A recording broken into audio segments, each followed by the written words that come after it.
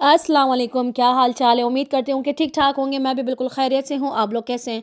तो चलिए जी, एक ज़बरदस्त रिएक्शन रिव्यू के साथ हम लेकर आए हैं। आज का वीडियो वीडियो को फुल वॉच करनी है। लाइक शेयर कमेंट सब्सक्राइब भी लाजमी करना है। तो चलिए जी, जल्दी से स्टार्ट करते हैं। अच्छा जी आज जो थी आयशा ने एक वीडियो बनाई थी और वहाँ पर जो थी वो अपनी भाभी से नाराज़गी ज़ाहिर कर रही थी कि आपने मुझे मुबारकबाद नहीं दी, क्योंकि मैंने सुबह के ऑलरेडी उसके ऊपर जो है रिएक्शन दे दिया है। आप लोगों ने देख लिया होगा जिसने नहीं देखा, वो देख ले कि वो जो है, वो नाराज़ थी कि आपने अली का जो था, मुझे उसकी मुबारकबाद नहीं दी और कुछ गिले शिकवे वो कर रही थी कि भाई उस टाइम पे ऐसा कुछ भी नहीं हुआ था। हमने बिना जाने बूझे जो था आप लोगों की सपोर्ट करी, लेकिन आप लोगों ने मेरे साथ अच्छा नहीं किया। अच्छा जी तो उसके जवाब में उसके जवाब में जो है वो अजगर की कम्युनिटी आती है और उसको भरपूर तरीके से जवाब दे रहे अच्छा इन्होंने भी वही पैटर्न पकड़ा हुआ है मतलब जो जो काम सितारा करती है वो वही ये लोग करते हैं, जो काम साजिद भाई करते हैं, बिल्कुल वही सारा कुछ कॉपी करते हैं और साजिद भाई को तो चले प्रॉपर चैनल है, वो रन कर रहे हैं। लेकिन जब इनको कोई बात रखनी होती है, ये लोग जो है वो अजगर के चैनल से आके अपना जवाब दे जाते हैं लाइवें भी लगाते हैं, अक्सर लोगों के साथ मतलब वहाँ पर बैठ के बकवास भी कर रहे होते हैं, बहुत सारी चीज़ें ऐसी हो रही होती हैं तो मैं मैं एक चीज़ आप लोगों को बता दूँ सितारा जो है वो अपने चैनल पर इस तरह की कोई भी कम्युनिटी वगैरह नहीं लगाती, अक्सर साजिद भाई ही आकर वो करते हैं, बात करते हैं तो इन्होंने वो चीज़ पकड़ ली है। भाई, हर चीज़ जो है ये बड़ी बाजी को सितारा की तरह ही करनी है, कि किस तरह सितारा चल रही है, उसी पैटर्न पर जो है बड़ी बाजी भी वही सारे कुछ कर रही है। तो इस चीज़ से उसको लगता है कि ये इस चीज़ के साथ तो ये पता चलता है कि ये उसकी दुश्मन होने के साथ साथ ये उसकी फ़ैन भी है, बहुत बड़ी फ़ैन है। जैसे हम सितारा यासीन के फ़ैन हैं तो इसकी बड़ी बहन जो है, ये जो बड़ी बाजी जो यहाँ पे चौदह अगस्त को दो हज़ार, मेरे ख्याल में दो हज़ार तेईस, नहीं, दो हज़ार इक्कीस को मेरे ख्याल में ये मुद्दा लेकर वाईटी पे लेकर आई थी और यहाँ पे पूरी तरीके से नाकाम होकर चली गई और अब जो है उन्होंने अपने शोहर को जो है एक मोहरे की तरह इस्तेमाल करती हैं, बिना गर्दन की तरह और आ जाता है यहाँ पे कुछ भी बोलने बालने के लिए आ जाता है। तो सुबह उसके ऊपर जो थी कुछ बहनों ने रिएक्शन दिया था, मैंने भी दिया था आयशा की वीडियो पर तो ये वहाँ पर उसको जवाब देने के लिए आए हैं। तो मैं आपको वो कम्यूनिटी पढ़ के सुनाती हूँ। इन्होंने लिखा है अस्सलाम वालेकुम अल्लाह पाक अल्लाह आपको कामयाब करें। आपने बहुत अच्छा किया। हम बुरे पर आपने जो किया, वो तो बताएँ। या अपनी बहन को ये आकर जवाब दे रहे हैं कि घर में कोई लिहाज नहीं है, ना कोई बड़ा, ना छोटा, ना भाई, ना बहन, कुछ नहीं। ये सिर्फ़ डॉलर के भूखे। आप गौर से देखिएगा, इंतहाई दर्जे का नीच ख़ानदान है ये। मैं कहती हूँ कि डॉलर के लिए ये अपनी माँ, बहन, बेटी सबको भूल चुके हैं। इनको सिर्फ़ डॉलर दिखाई देते हैं। यूट्यूब पर सबसे बदनाम तरीन ख़ानदान इन्हीं का ही है। आगे सुनिए। कहते हैं मैंने आपसे बात करने के लिए इसीलिए छोड़ी, यानी नंबर वन इन्होंने लिखा है पॉइंट रखा है। नंबर वन मैंने आपसे बात करना इसीलिए छोड़ी क्योंकि आपको मैंने मना किया था कि इस्लामाबाद ना जाओ, पर आप फिर भी गई उन लोगों ने घर आने से मना किया, फिर भी आप उनके घर ज़बरदस्ती गई और उन्होंने घास तक नहीं डाली। अच्छा ये यहाँ पर जो है इनडायरेक्टली वे में सितारा की बात कर रहे हैं कि ये वहाँ गई और उन्होंने घर में घुसने भी नहीं दिया, और अगर गई भी थी तो उन्होंने वहाँ घास भी नहीं डाली। भाई, हमें तो नहीं पता कि वो गई या नहीं गई, लेकिन जहाँ तक मेरा अंदाज़ा है, वो नहीं गई होंगी और इस तरह का कुछ भी नहीं हुआ होगा। ये बिला वजह के यहाँ पे एलिगेशन लगा रहे हैं। इनको कोई वही ना नाजिल हो गई थी जो उनको पता चल गया कि ये वहाँ पे गई है। दूसरा नंबर दो कह रहे हैं फिर आ, उनके मीटअप के बाहर जाके बोलना कि मुझे अंदर आना है। यानी मीटअप के आ, बाहर जाके गई और वहाँ पे उन्होंने बोला कि मुझे अंदर आना है। बट मैं हैरान हूँ इस बात पे कि भाई अगर वो नहीं चाह रहे थे आपसे मिलना आयशा तो फिर आप इतनी दूर तक गई तो क्यों गई? मुझे ये भी समझ में नहीं आ रही आपकी भी मुझे समझ में नहीं आ रही है। एनी anyway, इसमें कितनी सदाकत है और कितनी नहीं है वो आप लोग खुद ही जो है आगे चल के इनकी वीडियोज़ तो स्टॉप नहीं होंगी इनका कॉन्टेंट लेकर आए हैं तो इसके ऊपर ये लोग बात लाजमी करेंगे। थ्री, अब्बू को कॉल करके बोला कि मैंने अपना फेस रिवील कर रही हूँ। जब आप लोगों ने किसी से किसी की बात सुनी नहीं, अपनी मर्ज़ी करनी है तो फिर हम कौन होते हैं? किसी के, हम लोग ना किसी के बारे में है, ना ना छोटे, पता नहीं सरा करके लिखे इन्होंने ये नंबर थ्री पॉइंट है फेस रिवील के हवाले से कि आयशा को जो था वो फेस रिवील करना था, इसीलिए जो था उन्होंने अब्बू को कॉल की थी। और मुझे एक बात यहाँ पे ये भी समझ में नहीं आती, जहाँ आप लोगों का ख़ानदान इस वाईटी पे पूरा नंगा हो चुका है, वहाँ पे फेस रिवील करने के लिए जो है, गुलाम चाचा की क्या ज़रूरत है? वो तो खुद ही सितारा की अम्मी का मुँह कैमरे के अंदर इतना जूम जूम करके दिखाता है, खुद का भी मुँह दिखाता है, और जो उसकी बहू है मतलब ये जो शल, शलवार मेरे मुँह से निकल जाते हैं, जो बड़ी बड़ी बाजी है हैं। ये उनका फेस भी तो रिवील हुआ हुआ है, उनकी बेटियों का भी फेस रिवील हुआ हुआ है तो वहाँ अगर आयशा का भी फेस रिवील हो जाए तो इसमें कोई ऐसी क्या बात है? अब ये पॉइंट भी मुझे समझ नहीं है, झूठ पे अपनी कम्युनिटी लगी है जिसका ना कोई सर है, ना पैर है। फेस रिवील करने के लिए यहाँ पे भाई और बाप की इजाज़त की दरकार नहीं है उसका शोहर ज़िंदा है और वो अपने शोहर से इजाज़त ले सकती है। और जहाँ तक मुझे लगता है कि आप ये झूठ कह रहे हैं कि फेस रिवील की कोई, क्योंकि कोई मुद्दा नहीं है जहाँ पर आपकी बेटी और आपकी बीवी जो है, वो नंगा मुँह आ रही है, लोगों को अपना चेहरा दिखा रही है बिल्कुल ही व्लॉगिंग तरीके से कर रही है। बैठ के जो है पूरा फेस के साथ पूरी बॉडी दिखती है। अब तो आ, कपड़े भी शलवार कमीज पहनने लगे तो थ्री क्वार्टर अस्तीने होती हैं आपकी आपकी वाइफ के पूरे हाथ दिख रहे होते हैं। तो जहाँ आपकी वाइफ पूरी दुनिया में लोगों को देख रही दिख रही है तो फिर आपने आपने ये कैसे लिख दिया कि भाई आयशा को जो है वो फेस रिवील करना था? उसका शोहर अभी ज़िंदा और जहाँ तक मुझे लगता है उसके मुझे नहीं लगता ये बात में कोई सदाकत है। पता नहीं क्यों यार मतलब मुझे नहीं लगता ये मुझे एक नंबर का झूठ झूठ लग रहा है ये। ये जो नंबर थ्री पॉइंट दिखा है नंबर फोर पे। ये मेरा पॉइंट है, बाकी आप लोगों को क्या करना है, मुझे नहीं पता, नीचे कमेंट सेक्शन में ज़रूर बताइएगा। नंबर चार आपको अली की मुबारकबाद इसलिए नहीं दी कि अगर हम लोग वीडियो बनाते तो डीडी फिर से हम पे रिएक्शन देता।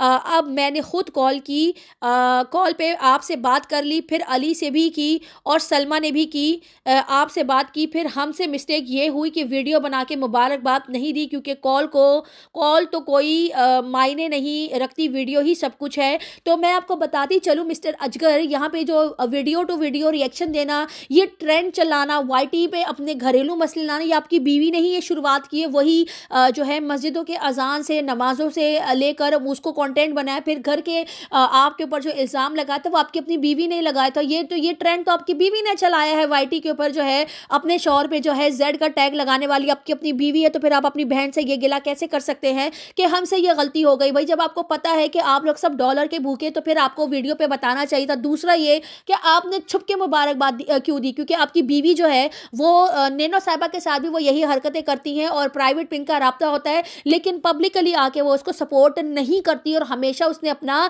जो है उसको ठेंगा ही दिखाया है और जहाँ तक मेरा ख्याल है नैनो ने इसको बहुत सपोर्ट करी है, लेकिन ये उनके लिए भी बोलने नहीं आते, पर बैक में बस इनका यही होता है। अभी जो सडनली बच्चे के लिए शॉपिंग हो रही है, बच्चे के लेकर इनकी जो सारा कुछ हो रहा है, वो इसलिए हो रहा है क्योंकि बहुत ज़्यादा लोगों ने रिएक्शन बनाया लाइव में बहुत ज़्यादा बात को उठाया गया, तब जाके इनको शर्म का नाखून इन्होंने लिया और फिर आकर इन्होंने नैनो को सपोर्ट करना शुरू किया और उसको जो है मुबारकबाद दी और इन्होंने शॉपिंग की, पूरा रमज़ान इसने किसी का नाम नहीं लिया और अब जाकर जो है वो क्योंकि काफ़ी टाइम तक इनका अच्छा नैनो से भी रबता नहीं था तीन चार महीने उसके बाद इनका शायद कोई रबता शाबता हुआ था, जहाँ तक मुझे पता चला था।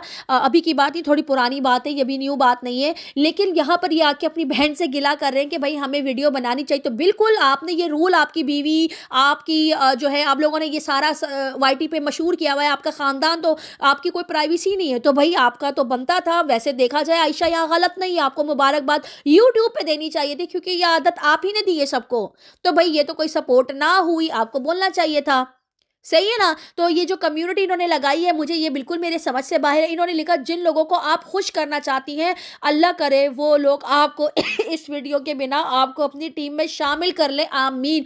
अच्छा जी, मैं यहाँ पे एक चीज़ बोलना चाहूँगी। सितारा के हवाले से ये यहाँ पे उनको टॉन्ट मार रहा है कि वो टीम, वो लोग तुम्हें अपनी टीम में शामिल कर ले। सितारा को आपकी बहन की कोई नीड नहीं है। सितारा के साथ जो लोग उसके साथ मुखलिस थे, हैं और रहेंगे, वो लोग सितारा को पता है कौन है, क्या है? और सितारा भी जानती है कि उसके बुरे टाइम पर उसके साथ कौन खड़ा था और उसके जो है इस वक्त कौन खड़ा है। इस वक्त तो सितारा बहुत ज़्यादा आगे जा चुकी है। उस टाइम पर डेढ़ साल पहले इतना आगे नहीं थी जितना अब माशाला से रफ्तार के साथ आगे जा रही है। तो ये चीज़ आप लोगों को हज़म नहीं हो रही और सितारा सितारों को भी पता है कि किसको टीम में लेना और किसको टीम में नहीं लेना और पहले मैं आपको ये क्लियर करती चलूँ मिस्टर अजगर आ, उनकी कोई टीम नहीं है। वो एक मतलब चल रही है अपने हस्बैंड वाइफ है और इनका अपना एक ट्रायंगल है कौसर है तीन लोग हैं और अपनी ज़िंदगी को आराम से गुजार रहे हैं एक अच्छी लाइफ गुजार रहे हैं और खुश हैं और आप लोगों को से पता नहीं कि उसकी खुशी देखी नहीं जाती। कल वो लोग गए बाहर थोड़ा सा साजिद भाई सितारा को बाहर लेकर गए उन्होंने वहाँ पे कॉफ़ी वगैरह एंजॉय की, बहुत ही रोमांटिक सीन था इनका एंड का